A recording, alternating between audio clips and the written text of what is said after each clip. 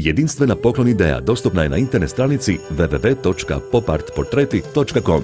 Fotografija može biti pretvorena u umjetničko dijelo po uzoru na dijela Endija Warhola ili se može pretvoriti u pop art zvijezdu nove generacije sa bezbrojnim mogućnostima igranja boja. Ako ste pak ljubitelj mode 60. godina, odaberite retro stil i vratite novu fotografiju u prošlo stoljeće. Fotografije se mogu jednostavno pretvoriti i u strip ili se može jednostavno naglasiti samo jedna boja, a sveukupno je dostupno osam stilova. Kada se fotografija obradi u željenom stilu, otisne se na platno i rastegne na drvene daščice te dostavi na željenu adresu.